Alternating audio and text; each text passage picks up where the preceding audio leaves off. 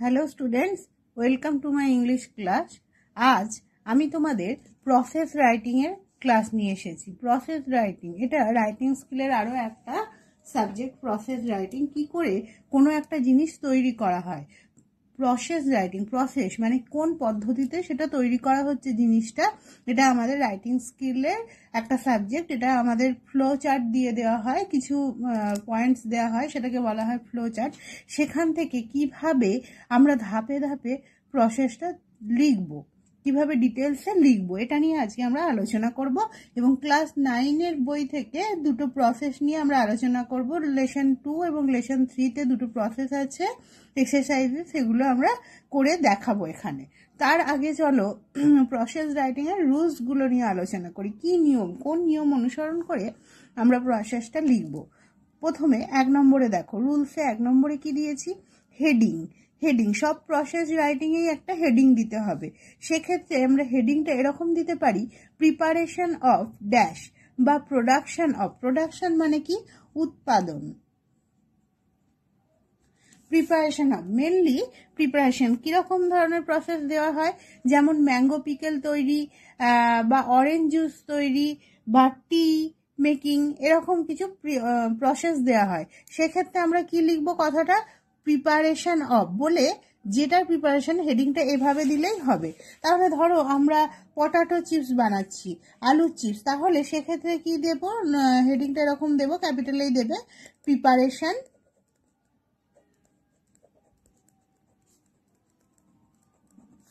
Of potato chips এইভাবে আমরা শুরু করতে পারি। তাহলে প্রিপারেশন অফ পটাটো চিপস দেখো আমি যেখানে লিখেছি প্রিপারেশন অফ বলে শুধু নামটা লিখে দিলেই আমাদের হেডিংটা তৈরি হয়ে যাবে। এভাবেই আমরা হেডিং দেবো কিছু একটা তাহলে এরকম যদি ম্যাঙ্গো পিকেল থাকে, তাহলে কি দেবে? প্রিপারেশন অফ ম্যাঙ্গো পিকেল যদি টমেটো সস থাকে, তাহলে প্রিপারেশন অফ টমেটো সস এভাবেই লিখতে পারি। প্রোডাকশন ধরো পেপার তৈরি হচ্ছে বা রাবার তৈরি হচ্ছে, সেক্ষেত্রে কিন্তু প্রোডাকশন অফ পেপার বা প্রোডাকশন অফ রাবার এভাবে হেডিংটা দেবে। তারপর দু নম্বর নিয়মে কি বলছে অ্যান ইন্ট্রোডাক্টরি সেন্টেন্স একটা ইন্ট্রোডাক্টরি সেন্টেন্স মানে সূচনা। একটা সূচনা দেবে মানে ওই সেন্টেন্সটা ওই জিনিসটার সম্বন্ধে তুমি একটা তোমার নিজস্ব কথা তোমায় দিতে হবে। ধরো পটাটো চিপস এটা সম্পর্কে ফ্লো চার্টে কিন্তু এই কথাটা, এই ইন্ট্রোডাক্টরি সেন্টেন্সটা দেওয়া থাকবে না। সেটা নিজেই দিতে হবে। যে ধরো এখানে পটাটো চিপস তার ফ্লো চার্টে তা তোমাকে যে পয়েন্টসগুলো দেবে, যে ফ্লো চার্টটা দেওয়া হবে, সেখানে কিন্তু পটাটো চিপস সম্পর্কে এক্সট্রা কোনো কথা থাকবে না। সেটা তোমাকে নিজেকে দিতে হবে। কি দেবে? তাহলে পটাটো চিপস সম্পর্কে একটা লাইন তোমাকে লিখতে হবে যে পটা ধরো এরকম লিখলে পটাটো চিপ এটা একটা কি? স্ন্যাক্স তো? Potato chips are very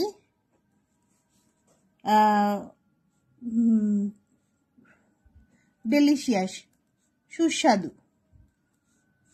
R very delicious snacks এইটা হচ্ছে ইন্ট্রোডাকশন আবার এরকম দেওয়া যেতে পারে potato chips are commonly used as snacks মানে পটাটো চিপসকে স্ন্যাক্স হিসাবে ব্যবহার করা হয় এরকম, বা potato chips are popular snacks, জনপ্রিয় একটা স্ন্যাক্স, এই ধরনের কিছু একটা সেন্টেন্স যেটা ইন্ট্রোডাক্টরি যেটা নিজস্ব সেন্টেন্স, সেটা লেখা হবে।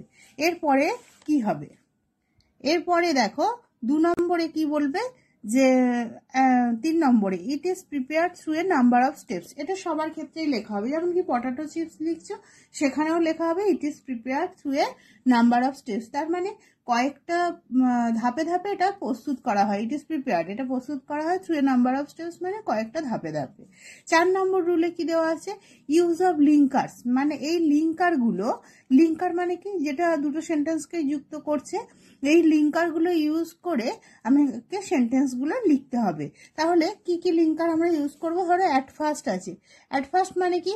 সবার প্রথমে। অ্যাট ফার্স্ট কথাটা লেখার মানে ফ্লো চার্টের সেন্টেন্সকে ডেভেলপ করার সাথে সাথেই দিতে হবে প্রথম সেন্টেন্সের ক্ষেত্রে। অ্যাট ফার্স্ট মানে সবার প্রথমে। নাও নাও মানে কি? এখন। নেক্সট মানে তারপর।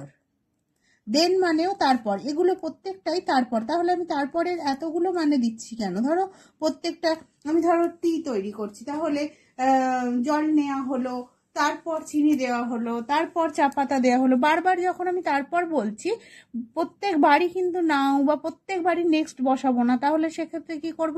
কোনো একটা সেন্টেন্সে নেক্সট বসালাম তারপরে সেন্টেন্সে দেন বসালাম তারপরে সেন্টেন্সে দেয়ার আফটার বসালাম, এভাবে করব। তাহলে আমরা মানেগুলো দেখে নিই। অ্যাট ফার্স্ট মানে সবার প্রথমে নাও মানে এখন নেক্সট মানে তারপর দেন মানেও তারপর দেয়ার আফটার মানেও তারপর আফটার দ্যাট মানে সেটার পর।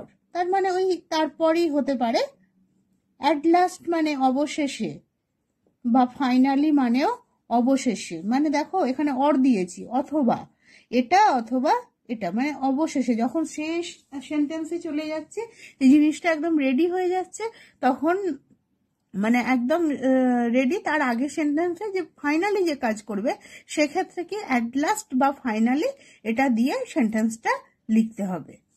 এবার সব থেকে গুরুত্বপূর্ণ কথা হচ্ছে প্রসেস রাইটিং এ কীভাবে লেখা হবে। Use a passive voice of the verb in the simple present tense মানে সিম্পল প্রেজেন্ট টেন্সে প্যাসিভ ভয়েসে আমাকে সেন্টেন্সটা লিখতে হবে। প্যাসিভ ভয়েস মানে কি?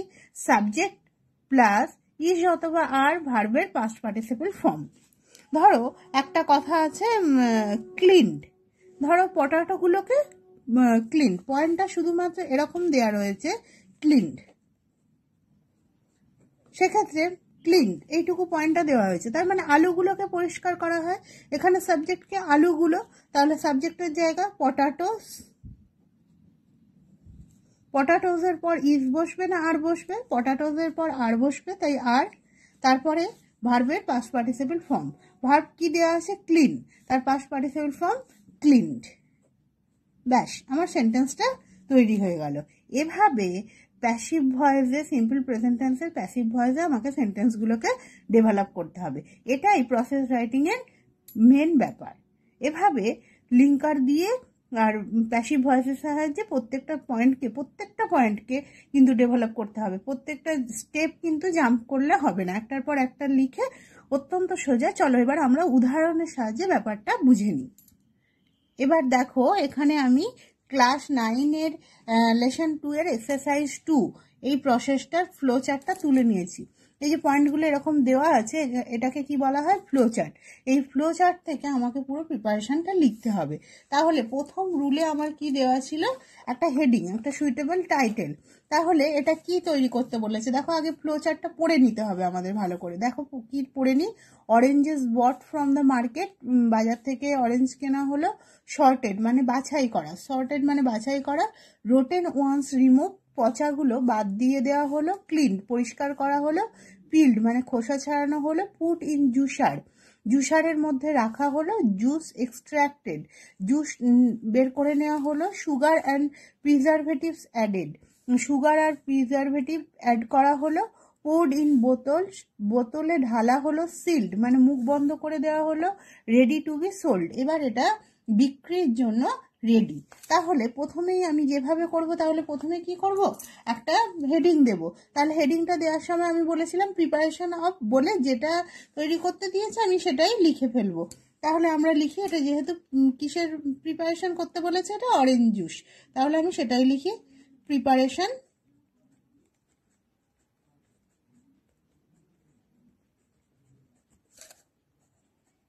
of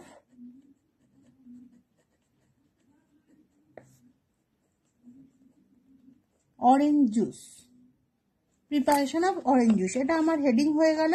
এবার একটা একটা পয়েন্টকে আমি আর তারপরেই আমাকে একটা মনে আছে নিশ্চয়ই তোমাদের প্রিপারেশন অফ অরেঞ্জ জুস হেডিংটা দেওয়ার পরেই কি বলা হয়েছিল? একটা ইন্ট্রোডাক্টরি সেন্টেন্স দাও। মানে এটা সম্পর্কে তুমি নিজে থেকে একটা সেন্টেন্স লেখো। তাহলে অরেঞ্জ জুস সম্পর্কে আমরা কি বলতে পারি? তাহলে আমরা বলতে পারি orange juice is a healthy drink এটা বলতে পারি। তাহলে আমি সেটাই লিখছি। লেখা শুরু করলাম। Orange juice is a healthy drink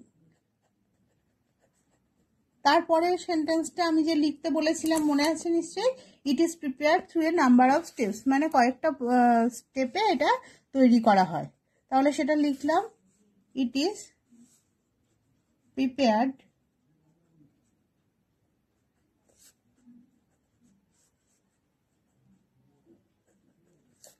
a number of steps.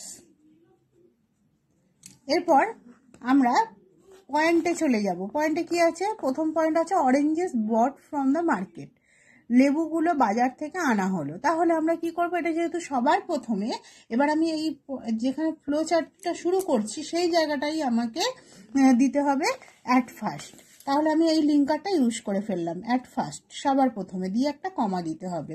At first এই যে অরেঞ্জেস বট এখানে সাবজেক্ট তাহলে কি? অরেঞ্জ তাই তো? অরেঞ্জেস সাবজেক্ট তাহলে অরেঞ্জেস তারপরে কি দেবো? ইজ বা আর তারপর মেন ভার্বের পাস পার্টিসিপাল ফর্ম তাই তো? অরেঞ্জেসের পর কি বসবে? আর মেন ভার্বের পাস পার্টিসিপাল ফর্ম বট তারপর যা আছে তাই ফ্রম দ্য মার্কেট তার মানে হলো বাজার থেকে লেবু কিনে আনা হলো। আমি দিতে পারি এটা রাইপ অরেঞ্জেস মানে পাকা লেবু, নাও দিতে পারো, কোনো অসুবিধে নেই। অ্যাট ফার্স্ট আমি দিচ্ছি রাইপ অরেঞ্জেস যদি তোমরা না দাও, তাতেও কিন্তু কোনো অসুবিধা নেই। কিন্তু আর বট এখানে শুধুমাত্র অরেঞ্জেস বট দেওয়া আছে, কিন্তু তোমাকে অবশ্যই আর বট দিতে হবে। তবেই সেটা সিম্পল প্রেজেন্টেন্সের প্যাসিভ ফর্মে আসবে। না হলে কিন্তু এই সেন্টেন্সটার গঠনটা ঠিক হবে না। Oranges are bought from the market এর পরের পয়েন্টটা কি দেখো? ফ্লো চার্টে কি আছে? সর্টেড সর্টেড মানে কি? বাছাই করা। কোনগুলোকে বাছাই করা হবে? যে মানে কি বলে, ওই লেবুগুলো, তারপর তাহলে দ্য অরেঞ্জেস আমি দিতে পারি বা দে দেয়া যায়। বারবার অরেঞ্জেস না লিখে লেবুগুলোকে বাছা হলো, তাদেরকে বাছা হলো। দে আর সর্টেড তাহলে আমরা এরপর করব, তাই তো? কাজটা এরপর বা তারপর। তাহলে কি হবে? নেক্সট নেক্সট দ্য অরেঞ্জেস করতে পারো বা দে করতে পারো। নেক্সট দ্য অরেঞ্জেস তাহলে অরেঞ্জেস এর পর আর। কি করা হচ্ছে? সর্টেড বাছাই করা হচ্ছে। সর্টেড বাছাই করা হচ্ছে তারপর। আবার আমি তারপরের জন্য এবার নেক্সট ইউজ করেছি, এরপর কি দেব? দেন দেন কমা দা এখানে দেওয়া আছে, দেখো রোটেন ওয়ান্স রিমুভ রোটেন ওয়ান্সগুলো বাদ দিয়ে দেওয়া হলো। তাহলে কি দেবে? Next the rotten ones are removed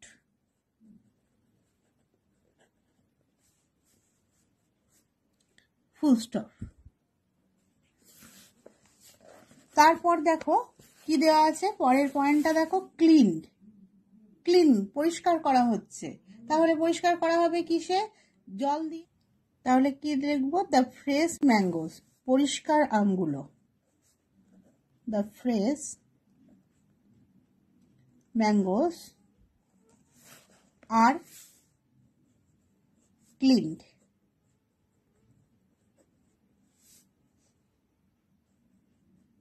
with water জল দিয়ে পরিষ্কার, ভালো আমগুলোকে জল দিয়ে পরিষ্কার করা হলো। এরপরে কি দেওয়া আছে? দেখো পিল্ড মানে খোসা ছাড়ানো হলো। তাহলে দেয়ার আফটার মানে তারপরে। দেয়ার আফটার কমা দ্য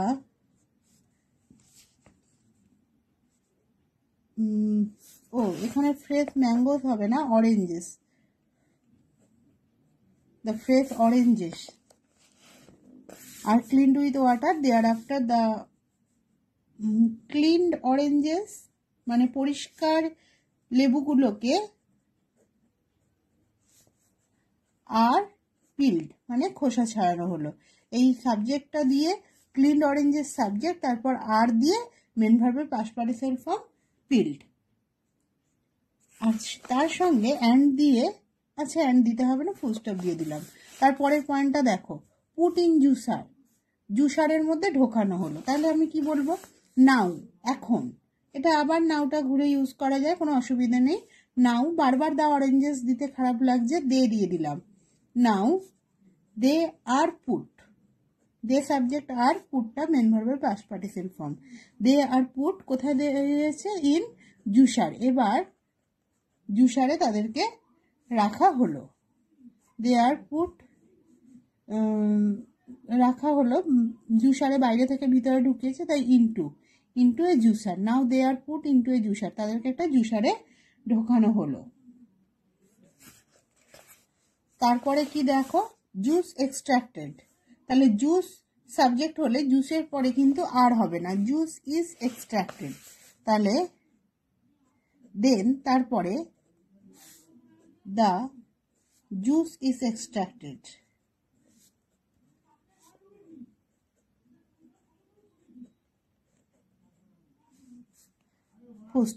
জুসটা বেরিয়ে এলো। এরপর কি বলেছে? Sugar and preservative added. চিনি এবং প্রিজারভেটিভ যোগ করা হলো। এখানে একটা পয়েন্ট অনেক সময় দেওয়া হয় যে ওই জুসের সঙ্গে, যেহেতু এখানে ফ্লো চার্টে নেই, তাই আমি লেখালাম না, ওটাকে ছেঁকে নেওয়া হয়। তাই ওখানে অনেক সময় দেওয়া হয় the extracted juice is then strained to remove the seeds and other refuses মানে ওদেরকে স্ট্রেন্ড মানে কি? ছেঁকে নেওয়া হয়। তার কিছু দানা বা অন্য কিছু যেগুলো আছে সেগুলোকে বাদ দেওয়ার জন্য ছেঁকে নেওয়া হয়। কিন্তু যেহেতু আমাদের দেওয়া নেই, তাই আমরা লিখলাম না। এর পরের পয়েন্টটা আমরা দেখব, সুগার আর চিনি অ্যাডেড তাহলে দেখো, এখানে আবার কে তাহলে সাবজেক্ট হয়ে যাচ্ছে সুগার আর প্রিজারভেটিভস এরা সাবজেক্ট হয়ে যাচ্ছে। তাহলে আফটার দ্যাট এরপর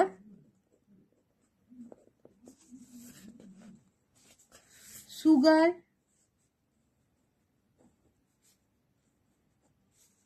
and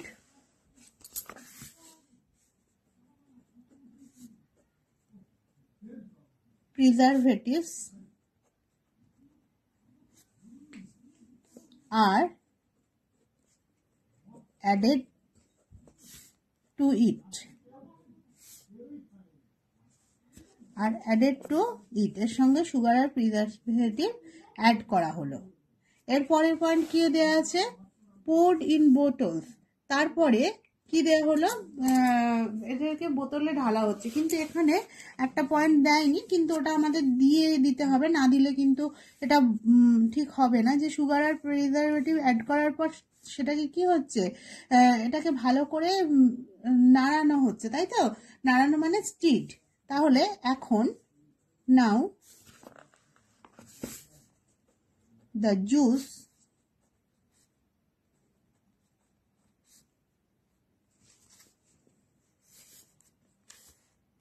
is stirred stirred মানে নাড়ানো স্টিড ওয়েল ভালোভাবে নাড়ানো হলো। দেন তারপরে দ্য জুস ইজ জুসটাকে কি করা হচ্ছে? পোর্ড। বোতলে ঢালা হচ্ছে। Now, then the juice is poured into bottles. Poster. এর পরের পয়েন্টটা দেখো কি দেওয়া আছে? দেওয়া আছে সিল্ড। সিল করা হচ্ছে। কোনগুলো সিল করা হচ্ছে? বোতলগুলো। তাহলে সেখানে বোতল সাবজেক্ট হয়ে যাবে। Then the bottles are sealed. এরপর বোতলগুলো সিল করা হচ্ছে। এবার রেডি টু বি সোল্ড পরের পয়েন্ট আছে দেখো রেডি টু বি সোল্ড তাহলে ফাইনালি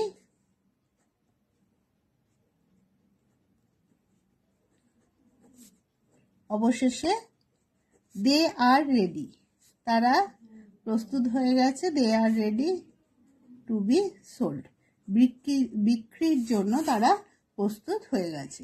হয়ে গেল আমাদের প্রিপারেশন অফ অরেঞ্জ জুস এভাবে প্রত্যেকটা পয়েন্টকে ছোট ছোট সেন্টেন্সে লিখে মানে প্যাসিভ ভয়েসে সিম্পল প্রেজেন্টেন্সে প্যাসিভ ভয়েসে লিখে তোমরা প্রিপারেশন অতি সহজেই করতে পারো। আমরা এখন অরেঞ্জ জুসের প্রিপারেশনটা কমপ্লিট করলাম। তোমরা বাড়িতে এরকম অনেক প্রিপারেশন প্র্যাকটিস করবে। এই শুধুমাত্র রুলগুলো ধরে ধরে মনে করে করে করবে দেবে প্রিপারেশন নিয়ে কোনো সমস্যাই হচ্ছে না।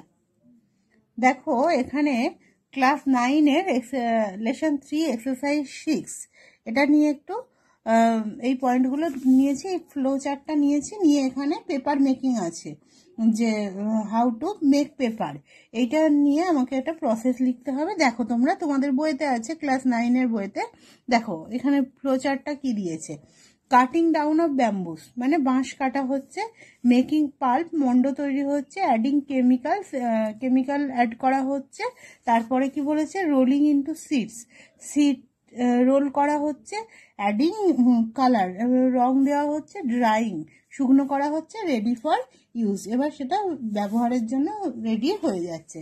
তাহলে প্রথমে যেমন রুলে আছে, আমরা প্রথমে কি দেবো? একটা হেডিং দেব। তাহলে এটা যেহেতু পেপার পেপার উৎপাদন, কাগজ উৎপাদন, তাই আমি কি দেব? হেডিংটা প্রোডাকশন অফ পেপার এবার দেখো প্রোডাকশন অফ পেপার তাহলে এবার প্রথমে কি করব? প্রথম নিয়ম অনুযায়ী একটা ইন্ট্রোডাক্টরি সেন্টেন্স যেহেতু পেপার তাহলে আমি কি লিখতে পারি? Paper is a very important thing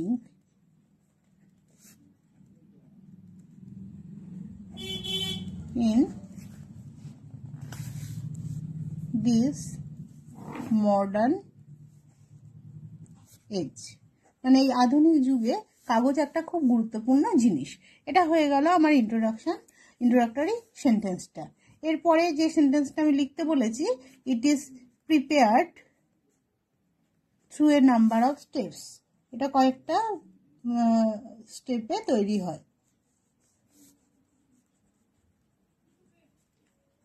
steps তারপরে কি?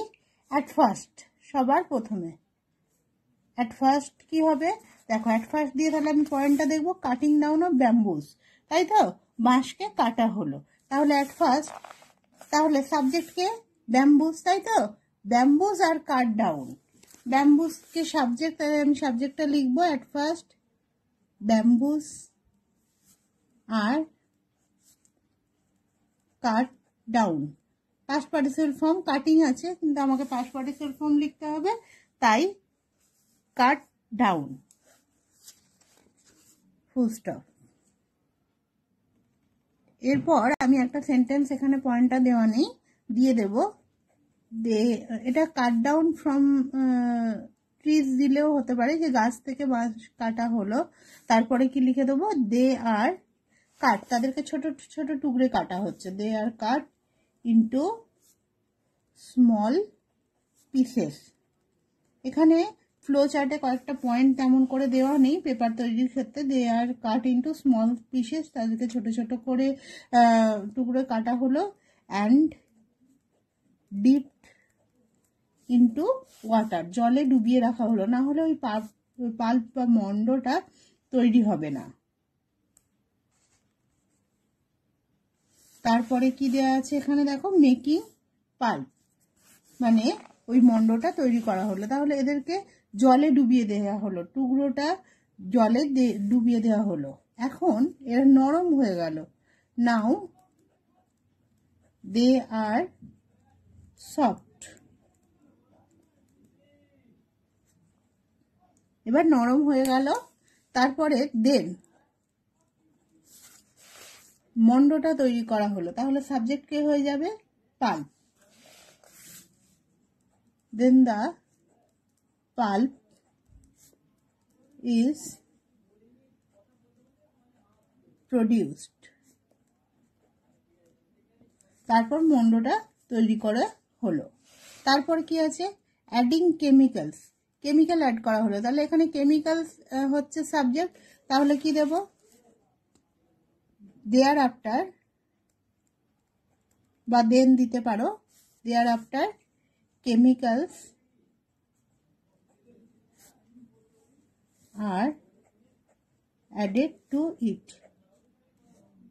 তারপর এর সঙ্গে কেমিক্যাল যোগ করা হলো। তারপরের পয়েন্ট কি দেওয়া হয়েছে? Rolling into seeds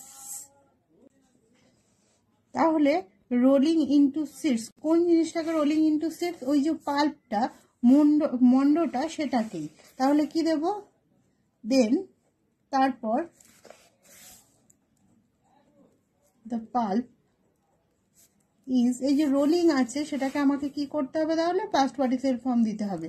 Roll the pulp is rolled into six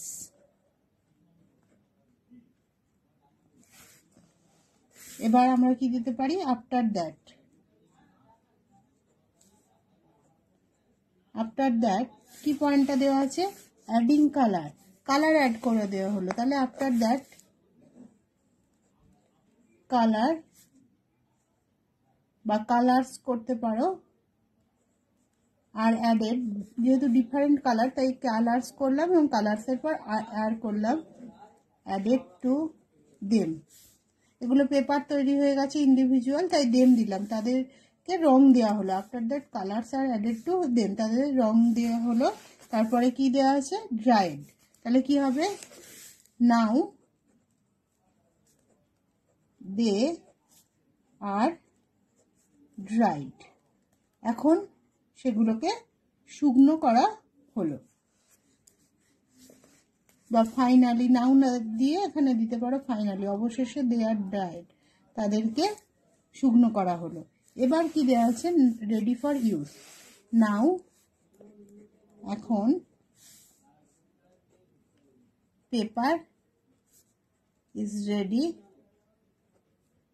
for use ব্যবহারের জন্য কাগজ তৈরি হয়ে গেল। এইভাবে তাহলে পেপার মেকিং লিখতে পারো তোমরা তোমাদের মতো করে, সহজ করে। এই যে পয়েন্টগুলো দেওয়া আছে সেগুলোকে এভাবে ডেভেলপ করে এটা দাঁড়াবে যে প্রোডাকশন অফ পেপারটা এভাবে তাহলে তোমরা পয়েন্ট নিয়ে বিভিন্ন রকম প্রসেসিং নিজেরা প্র্যাকটিস করবে এবং দেখবে প্রসেসিং নিয়ে আর কোনো অসুবিধে হবে না। আশা করি তোমাদের ভিডিওটা কাজে আসবে।